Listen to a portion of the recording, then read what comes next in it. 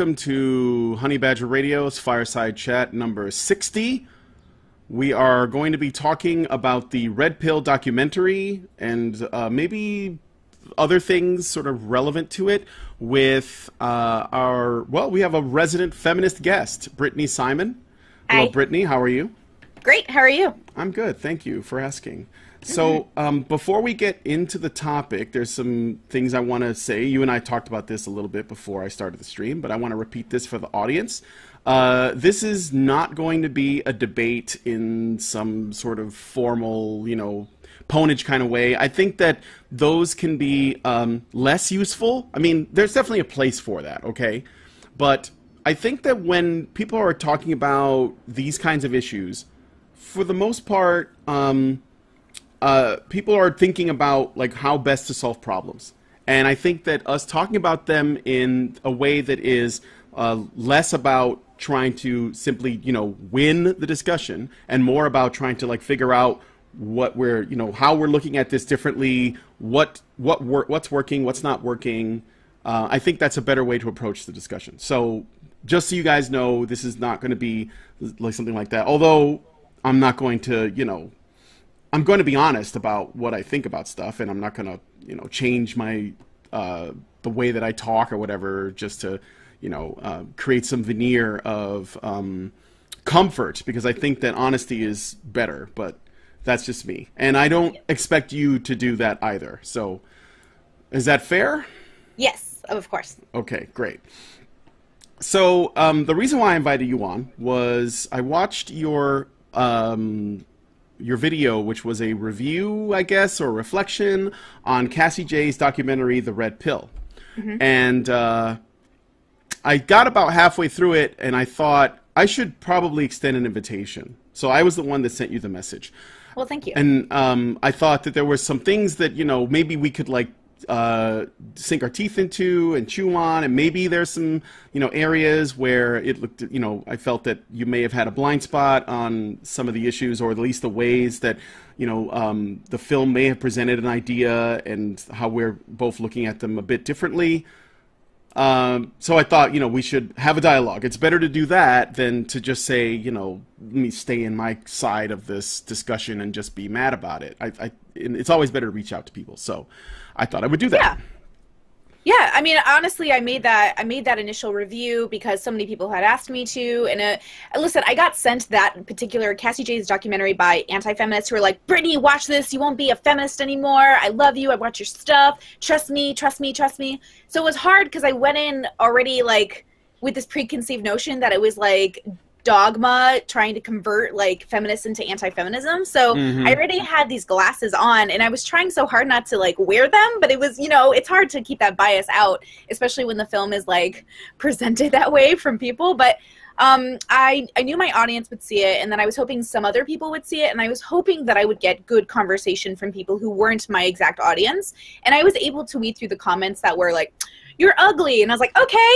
And then i looked for the comments that really were constructive. I mean um, and there were many there were so many and i really enjoyed that. Even now people are still going back and forth and i really enjoy that. So i mean that's the whole point. I don't know how much you know about my channel in general but the whole focus of it is living you know happy and authentically in alternative lifestyles but also paying attention to how the government and the law affects those lifestyles and those freedoms.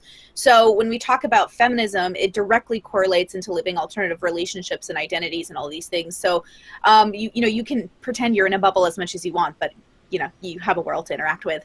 So i am excited by this because i didn't expect this interaction to occur. Um, i don't consider myself large enough to you know get people's attention but i am glad that we can have this discussion because i think something good might come out of it If you're listening to this after the live show and you want to hear the full stream, go to www.honeybadgerradio.com for our unabridged podcasts, or look up to the right of this video. There's a link to go directly to the unabridged version on YouTube. So let me ask you this: since you were talking about uh, the what we call the 36 flavors of feminism, do you think Yeah. that uh, we already know about that? You know how there are different kinds and all that. Do you think that there is anything that unifies all of them? Like how? What do you do if you're a feminist and you're making up a new brand or a new type of feminism? Um, but you want to make sure it can still be called feminism. So what is the what are the things that you think are core pillars of feminism that all fem- feminisms have in common? Well, I think that the first thing that comes reflexively to my brain is that feminism should be the focus of liberating and creating equality for women in the world but that also focuses all of our efforts in helping women and that's women of all kinds of women like that's not Sure. excluding trans women or anything of that nature which is a part of like old school feminist thought and we acknowledge that which is why you hear words like intersexual like inter- you know, Intersectional. intersectional and so that's a part of like thought processes that have been you know explored and that's great but i, I don't i want to say this because i hear a lot of people talk about feminism in a very interesting concept which is that it's we say it's for equality not because we're fighting equally as hard for men's rights. I don't know where we pretend that was ever the point. I think the point was always to focus on females rights in relation to men's rights and then we create a world where we're all on the same page so we can go forward and not worry about focusing on either or Mhm. like I, as a as a queer woman myself like i focus on queer rights but that doesn't mean i'm excluding straight people's rights i just want us to get to a point where we can just move on from it but we have to Mhm. get there first so I, I i feel like feminism the thing that unifies all the thoughts is that it's there to give women the um the same brings us to the same playing field. But once we accomplish that i'm not quite sure what they want us to do after. And i'm not sure that it ever needs to go away or it needs to always stay but i'm i would say that was the collective thought that definitely would bring us all together. It's what makes us feel like we understand each other i think. I'm making a distinction between um, people who are anti-feminist because they don't tend to be activists. They're just um, mostly they're you know it, that's a, a mixed bag versus MRAs that actually say, well, we want to get these things done. Yes. So, okay, I will have to preface this with I admit that when I watched The Red Pill, I did understand better, I think, the, um, like a voice for men who I had seen before and I had read their blogs and I had felt very, uh, I felt like they were trolly and I wasn't sure that they were legitimate. Now, if they're legitimately activists, great, and they're trying to move forward with, you know, creating awareness, awesome.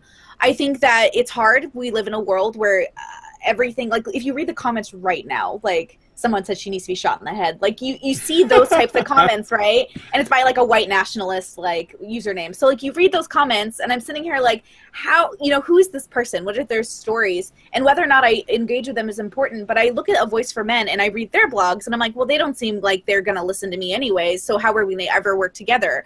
And I will say that I didn't, I, I don't know that I ever, um, I ever saw anti-feminists as not activists because in my head I see anytime you you um, put yourself out on the internet and you have a following and followings believe you and followings vote in your thought process your Mhm. activism is there even if you don't know it is maybe Mhm. is how I see it like I mean I grew up in a world of I don't know how much you know about my background but you know I'm Middle Eastern my parents are from Iraq and like I they immigrated here and they they you know I was raised a Republican and I was in talk radio and I learned that there was this following, this need to feel like somebody knew what they were talking about, which is why I try really hard to only talk about things I know about, which is like mostly alternative relationships and lifestyles. Yeah. But when we're talking about feminism, I think i versus MRAs, I think what we're talking about is like two very passionate sides that are so afraid of losing control and having to go back to the way things were, or worse, the way things are. And so I think if we can just acknowledge that whether you acknowledge you're an activism or an activist or not, you're still trying to change the status quo. And that's good or bad, but I think you're still active in it. Do you think that if you care about uh, human rights issues, and, and included in that are women's issues, Yes, of course. do you have to then call yourself a feminist? I think all calling yourself a feminist does is it just allows other people to understand that you focus most of your energy, because we're humans, we don't have an abundance of it, Mhm. on these particular issues. I actually believe that a perfect society would run where we all contribute what we can and what we know best. Like if you have a scientist who spec- uh, like is studied only in cancer, I don't expect him to then come on the other end of you know uh, being a scientist in space. Do you know what I'm saying? Like they're different types of scientists. So like we Yeah, can't sure. exert all of our energy covering all of the issues. I think it's really important that we say your skill set, your strength is here. Let's do it. And then your strength is here. Let's do it. Right. And then hopefully we can all come together in the end, but to acknowledge that there are disadvantages for groups, to acknowledge that maybe history hasn't been so kind to everyone is important. And I honestly, if you want to know the truth of it, here I'm going to just tell you, nobody else can listen to this. I really do believe that if people had just acknowledged the pain of people who were rising up and said, Hey, I acknowledge your pain. What can I do to help you? versus go fuck yourself, I have pain too, then I think that maybe there would have been um, a little bit of a softer blow to the amount of hate towards one another. Because I Mhm. noticed that when I was struggling, and the reaction from the communities that I had thought were were friends to me, if they had just been kinder, I wouldn't have went full social justice warrior. I wouldn't have because I had always been safe in that camp. It was only until I felt like all of my skeptic friends were turning against me that I was like, well, I need somebody who will embrace me. And I went full so- social justice warrior. Like, and I needed to come back from that. And I came back from that recently because people who, again, weren't threatened by me and my label said, come talk to me. So, are you saying that you went full social justice warrior, oh, like as a reaction to the the people that you consider your peers because of the way that you that they um, talk to you, or from the way they, they the way that you interacted with them, they you, oh they neglected your pain. they neglected the fact that I was like struggling as like uh I felt like I I was taking care of my 16 year old brother at the time. I was working like two jobs. I was really struggling and I needed like a support system that that understood where the struggle was coming from. Yeah, And I and I guess I all I kept hearing was um you know like you know cry me a river like move forward like feminists suck. And i was like are we sure? Like is this how we want to go about where's the community effort? Where's the raising of the money? Where's the community outreach? Like and we saw it along the way and i'm really proud of people who've done that and reached out. I'm not saying they all were negative towards me but i'm saying that i wish i had seen some kindness in people's faces. Now i saw that kindness on the feminist side and i still do but what i also see is extreme passion and a lot of fear and what i have seen at the outrage of like I, you know, some people, one person in your chat before it even began was like, she's a Kat Blaque fan. Like, run away. And the, the irony is that I enjoy Kat Blaque's content, though she and I like disagree on a few things, including the fact that she refuses to talk to people who oppose her. And that's her right. But I, I, it's a little bit of a disappointment because it stifles the conversation.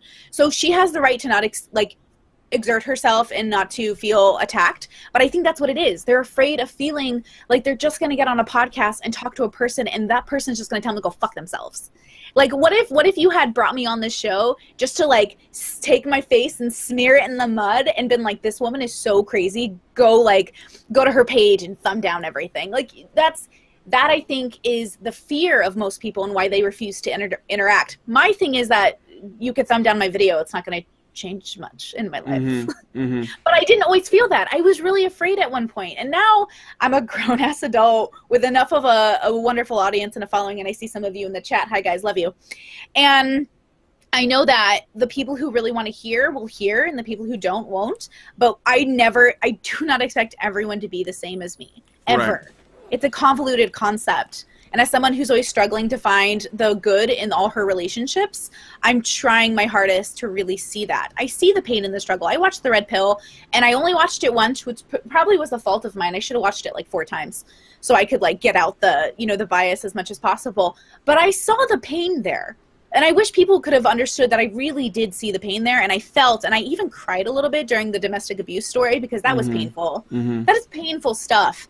And to say that it isn't is is blinded. And I am disappointed. I'm sorry, I'm going on a monologue here. I am disappointed that so many feminists were like, this movie's like anti-women. You need to you need to not see this. And I'm like, but you saw it, right? Like you saw it before you made that comment, right? Because I refuse to not you know consume the media before commenting on it. I can Mhm. unless I unless I preface it with I have not seen it. So here's my Right. biased opinion. This uh, concept of a victimhood has always been interesting to me because I made this video years ago on Daniel, Mr. Epsion's channel about like we're all victims. So the concept is that if you acknowledge that we're all victims, you can acknowledge and start picking yourself up from that victimhood. And the victimhood is important. You have to acknowledge the pain. That's the emotional side. And then the logical side says now what are we going to do about it? And then but you have to first have the first step of acknowledgement. Because you can't tackle a problem if you don't acknowledge it exists. But the victimhood shouldn't define you. It should it should just be a part of your story. And then the other part of your story what defines you is always what you do after. Always. So Mhm. picking yourself up, acknowledging you have the strength to do so, creating communities around you that implore and encourage you to be better, those are all important attributes. And those that's what makes a person. That's the story we should all want to tell is what we did after. Yeah, I, I guess I could see that, but then how do you define when, like, how do you define when someone simply experiences suffering, which everyone experiences suffering? What is the difference between that and essentially acknowledging uh, or or um, claiming victimhood? Like, where where do you draw the line? Because everyone goes through stuff, and some of it's negative. But um, and I mean, I'm speaking as somebody who you know, uh, and I'll, I'll just speak for myself here because I'm I'm more also a staunch individualist. I grew up in the uh, Humboldt Park area of Chicago in poverty from basically my whole life. Right, right now I'm still pretty much below the poverty line, even though I do this job and I'm able to live off of it. And uh, despite the fact that you know these were not great conditions, like I lived in roach-infested apartments and shit like that as a little kid, but um, I don't consider myself to be a victim because vi- being a victim requires a oppressor or a victimizer, and I think that it's not that there was anyone that was setting out to do it either you know directly or indirectly. I think it was just people's conditions are not the same. Sometimes people are born into bad situations, and um, sometimes they're not. And then they do what they can with what they have. So you know, I was like, I I acknowledge that even at my point in my life now, there were choices I could have made to make things better. But there are also choices I could have made that could have put me in a lot worse of position. So I accept full responsibility for where I am, and I don't consider myself to be a victim. So, I mean, like, how do you know when you are a victim and when you're simply, you know, like these are things that are outside of my control and, eh, you know, it's shitty, but I can fix it. Okay, so actually, this is a good exploration into. Um, let's talk about this for a second. Um, so I think of victimhood as like a direct. Somebody came at me. I'm a victim of like theft or rape or you know assault. You know, I've been victimized. I've been targeted. I've been you know. But then you think of victimhood as possibly the uh, result of what happened to your parents and the economic value you hold now. But I would agree, and I'd be w- willing to reassess that um, definition into suffering if you acknowledge that my parents suffered and that affected me, but now it's Mhm. my turn to affect my future kids. So Sure. I'm okay with this. I, I, I think Okay. I interchange maybe victim with suffering in a way that I probably shouldn't because it does create more of a hard line that is Well, unnecessary. Yeah, because when you use the word victim, you basically say there is an oppressor somewhere. But when you say suffering, then that's more like, well, it could be anything. Like my parents made bad choices too. And so Yeah. that doesn't make them my oppressors. That just means they made bad, made bad choices. And their parents made bad choices. And so as long on, as right? we acknowledge as long as we acknowledge that the suffering is is valid like i don't want people to think that their suffering isn't invalid i mean we do this constantly with people and so we never get to the root of the problem but i think we need to i mean i i literally run a channel on helping people be, have a sense of agency and like literally you are responsible for yourself. You have to make good choices. I don't care what your parents did and that's important like it's important but now you get to define your future. And so that is so important to me but i have Mhm. to first feel like i acknowledge that yes you went through something so terrible. You should get help for that and then in order to get help for that and or on the way to get help for that you will then create yourself into this perfect like whole human What did you mean by saying you feel as though you already took the red pill before you even saw this film? Um, so I, I think that my experience of the film didn't feel like as I was moving through it, I I nodded my head a lot as like yes, of course, yes, of course, yes, of course, and a lot of it felt like I had already come to a consensus that humans were diverse and that people needed to be heard and that there were camps of you know feminists and anti-feminists that were just gruesome. But i didn't feel like i that i needed to take a pill because if taking the pill means being anti-feminist i i i felt that that was un un uh, I didn't think it was un, I didn't think it was clear enough of a concept. I'd like to think that I took the red pill because I can see both sides and I understand where the human part of this experience is. Mm-hmm. That's how that's what I think taking the red pill is. It's seeing the reality of the situation versus um, assuming that it's just so convoluted that it's it's one-sided. Right, right. Do you think that people who take the red pill become uh, anti-feminists per se? Uh, I well, it depends. I actually think that people who, um, if the red pill documentary hadn't come out and the the Reddit subreddit hadn't been created, right? If like the red pill was just a concept strictly from the movie when it came out initially, The Matrix, I think that I would argue that everyone should take the red pill because the red pill is like knowledge, and knowledge is ask Eve. She got kicked out of the Garden of Eden. That's a joke, but like, yeah. it's it's literally terrifying and horrifying because you see the realities of the world, you know, and the concept of humanity. So I think everyone should take the red pill. But I would argue that now that the red pill signifies this one concept, it is hard not to see it as taking an anti-feminist propaganda down your throat. Why is it important that the men that were speaking uh, on on men's rights were described as middle aged and white. I'm so glad you asked me this because this is the one thing I wish I could have clarified more in that whole fucking video. So the only thought process that that mattered for me was that they had come from a generation where they had seen a society that was anti their freedoms. Mm-hmm. Because I, if you look at middle-aged white men specifically, they have a very specific. They had their story already written for them before they were born, and like these men came into the world having no choice what their ex, you know, and had very specific expectations. And I felt for them. I actually felt like they had been disadvantaged by their whiteness and their middle-agedness because of the generation they'd been born into and I felt like I wish they had explored that more because I, you know, and I live in a Seattle progressive bu- bubble where most of the men in my life who are white and who are cis and who are whatever, who are very wealthy because they're in tech, are actually like they're exploring parts of themselves that I've never seen middle-aged men be allowed to do. Mm-hmm. And the the amount of thought process that has changed and shifted because of generational differences is extreme. And I just wish there had been some acknowledgement.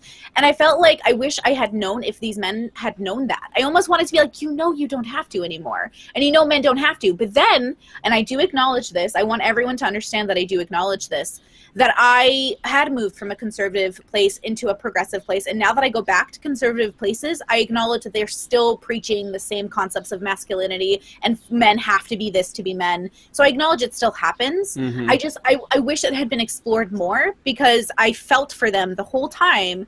And I just wanted to like, give them a hug and let them know like i swear to god i i understand i just i want you to understand too that i i don't have the expectations of you that aren't in your favor like does that make sense? Does that yeah. correlate? Yeah, okay. no, I understand. Um, and I, I, bring it up because I don't know if you've noticed that there has been a lot of um, shaming of yeah. white men, cisgender, heterosexual, etc. They're like yeah. the the group that is totally okay to bash on, and if they ever speak up and they basically say, "Hey, you know, I have this issue," uh, they get laughed out of the room by progressives, specifically, you know, that are essentially targeting them as though they are the enemy, even though, um, you know, I mean, most of them are just regular people that just yes. they, they have their own problems, you know, and they're going through their own suffering.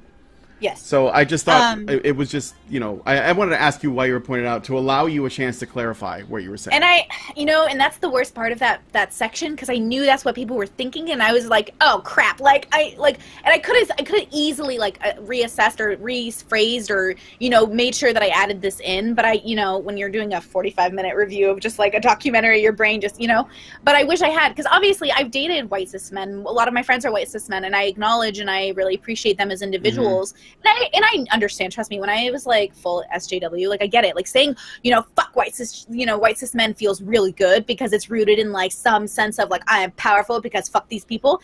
But it's it's rooted in a feeling of like convoluted concepts of like power. It's stupid. It's, it doesn't make sense. It's a, it's an emotional response to to anger, and I get it.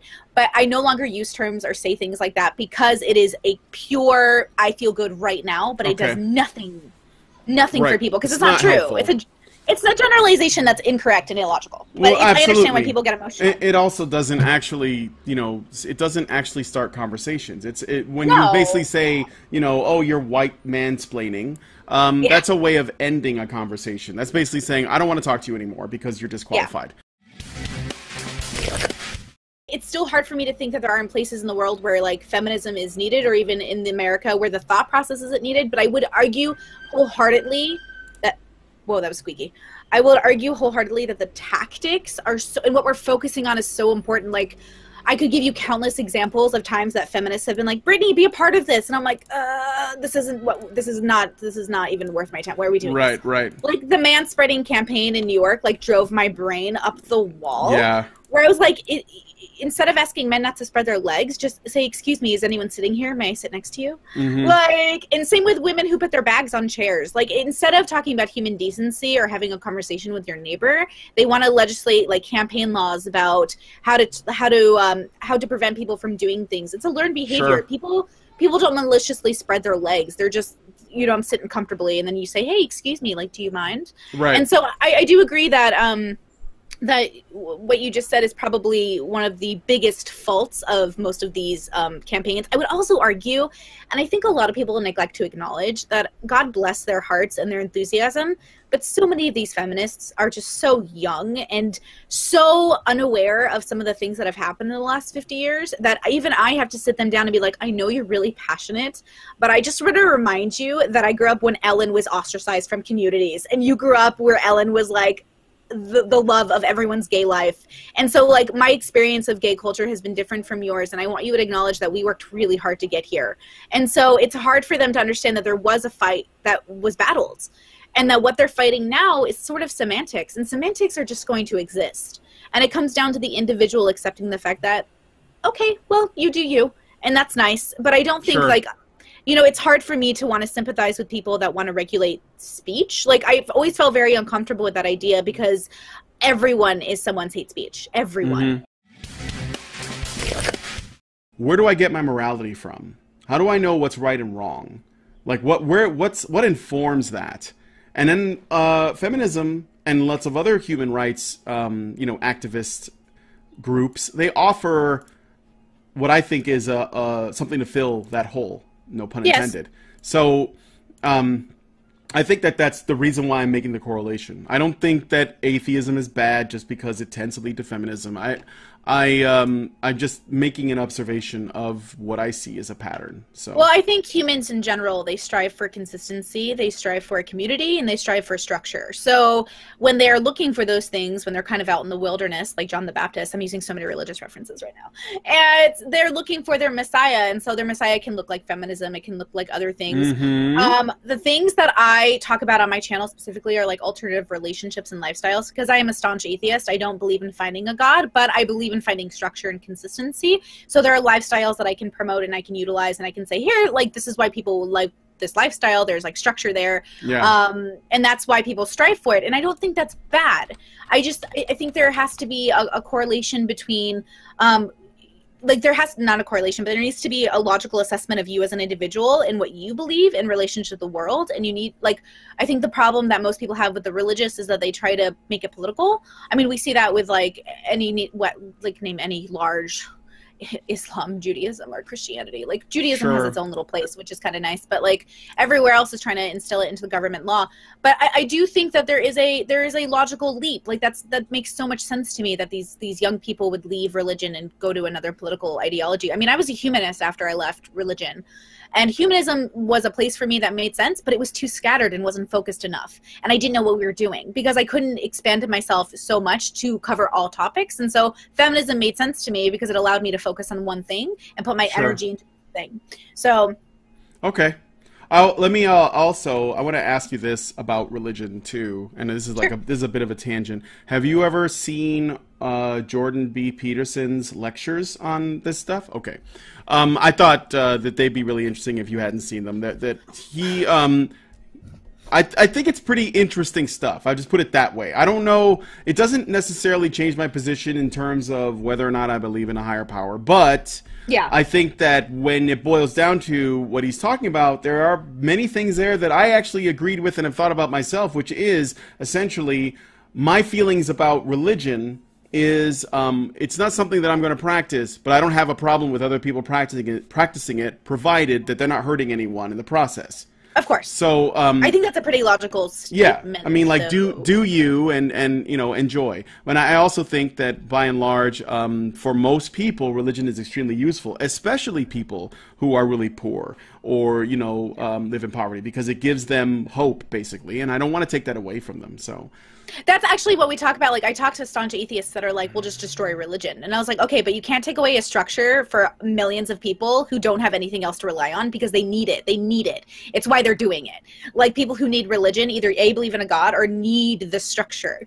Otherwise, they're just Yeah. kind of like, they're flippy floppy. Not everyone's an alpha, guys. Like, we can't well, and and then uh, uh, well, I would ask you this too: Do you think that uh, feminism, for some people that left behind their religion, is filling that gap? Like basically, it's their religion.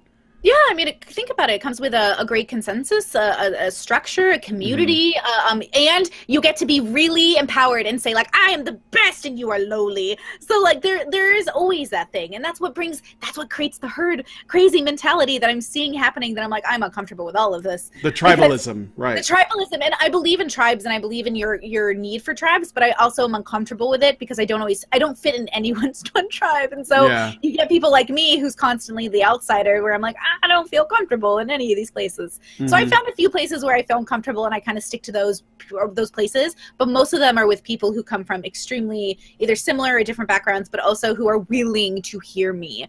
Like I'm, I mean, I'm talking about friends who have walked out of my life because I, I'm a product of the '90s. I say words that are not okay anymore, but uh, the people who've stuck around get it that I'm not coming from a malicious place, right? And like that's the Mhm. idea.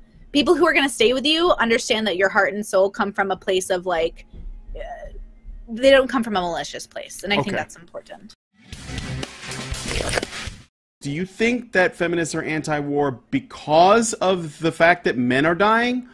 Uh, or do you think it is for another reason? For example, a lot of times feminists tend to be, um, they tend to vote Democrat, for example, and they tend to be Yeah. against Republicans. And Republicans tend to, um, you know, spend money, uh, tax money on the military. And uh, they are often framed as, you know, uh, warmongers or at the very least, um, you know, people that want to use, they, they, they feel the need for a really strong military. And that could be the reason. And this is the difference between standing for something and standing against something. So if you're for something, you might say, well, I just don't want all these men to die and I really care about the men dying.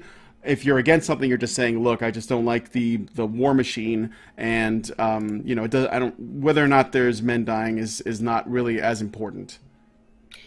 Um, okay, so uh, hear me out on this. So I think that there are feminists who are individuals who have different feelings on war. There are feminists in general that I think come to have come to the consensus that war is bad because it uproots people, it creates refugees, it, it puts a strain on the economy, it kills people. I would argue that their focus is like they'll say like women and children are dying, and what they really should be focusing on is that humans are dying. And I think some feminists will say that like, oh, humans are dying. Um, and I think that's why they come from a place of like war is unnecessary.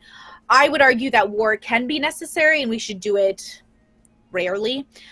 But I think that I come from a place, and I can only really speak for myself in terms of individual feminists, that war or, or drafting people and, and creating unnecessary deaths is bad for everyone. I mean, you're killing husbands and fathers and brothers, and you're ki- you're you're killing people who who probably don't even want to be there most of the time. And coming from a military background, like my fam, like my brothers, like mil- even I like went into for the military, and I was like, you know what I mean? Like we all we all that was just a part of the culture. Like you- Sure. either- you know, it, there is a great pride there, but it doesn't mean that it's the best way for people to feel like they have to contribute to society all the time. So Mhm. as a whole, I think feminism is anti-war because it kills people. Right. I but I, I think that comes from the humanist side. I think the logical side is that sometimes war is necessary, but nobody wants to really it's hard for them to want to acknowledge that because that means Mhm. people have to die. So it's funny because I don't, I don't. After I saw the red pill, I did start to pay attention more as I listened to NPR and watched news uh, and, and to see how they kind of reported men. It's funny though, and then I went to go research that kind of line of thinking, and I found this um, like feminist think post about semantics over words and how men were described as people and women were specified as women because they're not people. And it was an interesting concept because I think we're What? both just. So do you get like where they're coming? So, so feminists are saying, wait, wait, wait. So feminists Uh, are saying that when, feminist. I okay, a a feminist, post. a post by a post. feminist, she Yeah. said, well, I mean, I don't, well, okay, okay. A feminist said that when there is a tragedy and the media writes about it and they write about the men as though they are people and they write about the women specifically as women, this feminist believes that those women are not people because they're not being described as people. So it's kind of funny because no matter how, and I kind of like, oh, okay, I see your thought process, but I'm pretty sure they're not maliciously thinking that hard about it. I'm pretty sure they're just specifying women and children because it hits our core of like, oh no, women Mhm. and children. And so like that's how I see it. I see it as a campaign for the news to like hit the sympathy, like watch this, women and children are dying.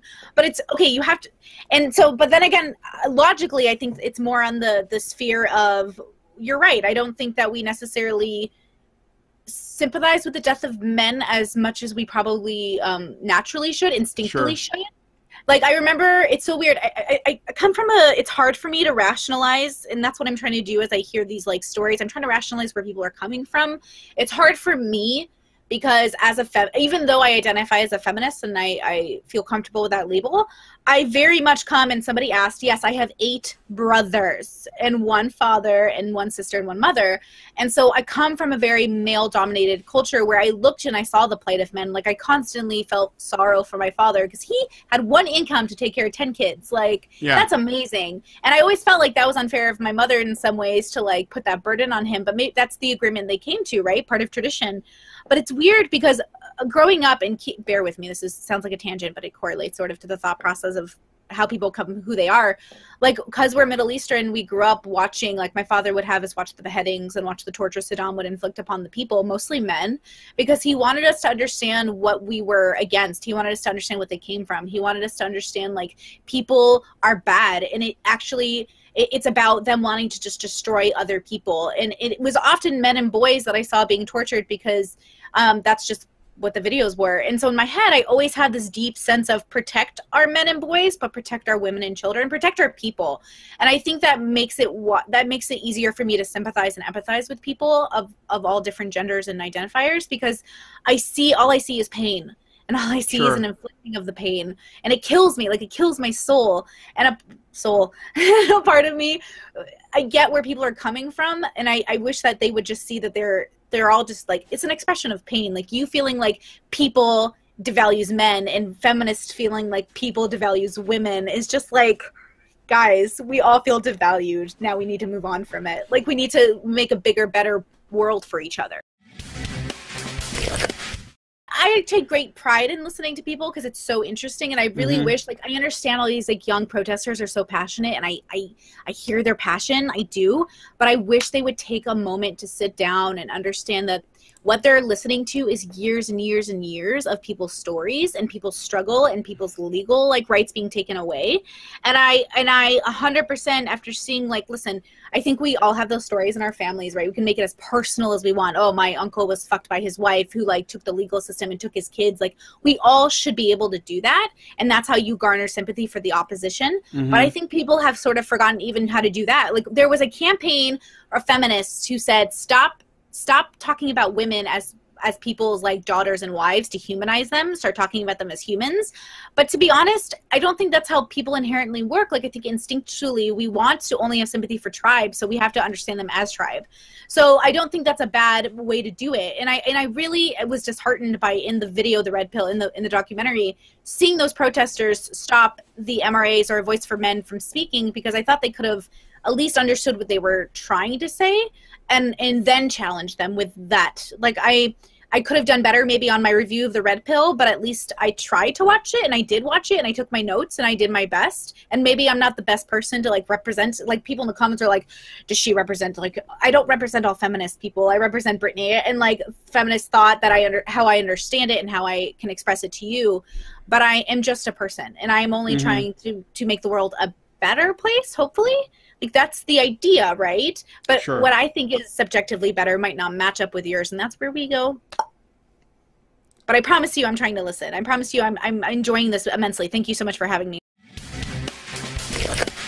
the thing that I think I notice ties feminism together, and it's the thing that makes it different from, let's say, just being a women's rights advocate. Okay. Okay. Um, and the main difference is is that feminism has a couple of uh, concepts. One of them is patriarchy. It's the main one. And the patriarchy as defined by feminists, is a system of uh, a societal system or a cultural system wherein men are in power and Mm-hmm. they basically built it to benefit them and to keep them in power Mm-hmm. and women are uh, it's it's to the it's the benefit of wem- men and to the detriment of women and that's how it's set up okay? That's a central feminist tenet. That's basically where it comes from is the idea that women have historically been disadvantaged and it's because of a system that men built for with men's interest in mind. Do you agree with that as a definition of patriarchy in terms of uh, your brand of feminism? Uh, I'll agree with the definition of patriarchy being what you just explained, as I think it's pretty accurate. And I would argue that the patriarchy is something that existed. It's something that exists in certain aspects. I mean, if, if I think I have a hard time with this word because it's so triggering for people, and people get very like up, uppity about it. sure And I think what we need to focus is for me, I think that patriarchy now in modern society is kind of like ill-intentioned good. And I think like it's a so societal concept more than a systematic concept. I actually Mhm. would argue that it's more social. And because it is social, we we influence politics with it and therefore the system. But I don't like if you look at the way that the government is is done right now, I think we have the the ability as women to be represented in government. I think the only problem is that the people who are ruling on a lot of these things happen to be men. But that's why we need to encourage more representation in like politics. So I think patriarchy is a social construct, like a social societal expectation of behavior to keep things moving forward more than a systematic one now. And I think Right. that's something that is just it's easier to comprehend i think for people. And it's also what we actually face. Like we face men who think they have to buy us dinner right? That's stupid and like silly. And like that's based off of like a hierarchy of like we do the thing and you do the thing. And that's that's all like very ridiculously like social nuances and i think i wish i would i wish you know coming from a religious place like you could say like catholicism is a patriarchal like religion and like priests will be the top and then the pope and they're all men and they'll say like women are valued just as much as men but they'll never let them in power. Like that's patriarchy right? That's like an idea that the patriarchal system should rule because somehow they represent god better. And like it's a silly system but there will always always be people who benefit from either or. I, I just feel like this is too convoluted of an idea to hit in a podcast for 10 minutes but or a, Mhm. a show but I, I would say that i look at it more as a social issue than a systematic one Thank you, Brittany Simon. That was uh, it was a good conversation. Thanks for coming Good. on. I'm so glad. And Thank you, guys. Really uh, yeah, yeah, no problem. Leave your comments in the comments section. Uh, you know, say whatever you want, but I appreciate if it was constructive. but say whatever you want. I'm not going to tell you what to say, what to do. And uh, yeah, that's it for us here at the Fireside Chat. I want to thank Brittany again for taking time to come out. And I want to thank you guys for watching. I think we capped out at about 500 people, which is pretty fucking sweet. And uh, we'll see you guys on the next show. If, remember to uh, like, subscribe, share.